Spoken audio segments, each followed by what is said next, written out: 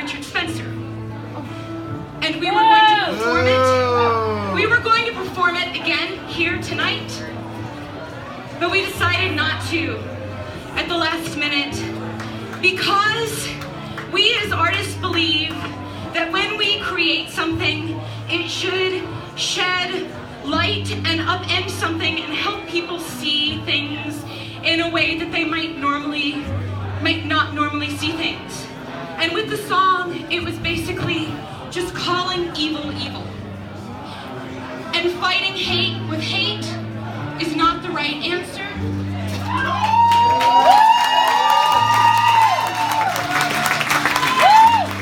So we cut. And we're skipping to the last part of the song that we also performed two years ago at our very first cabaret. So if everyone would reach under your chairs or tables, if you're sitting, sitting at a table, you guys in the back, it's under your chair and pull out your tea light. Under your counter. Um, they're taped under your chairs or tables, yep, tables, and turn them on. Under the bar.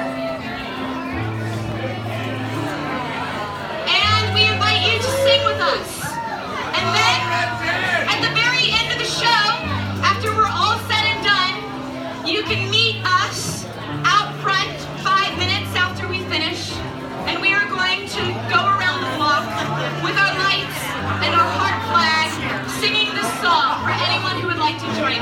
Yeah!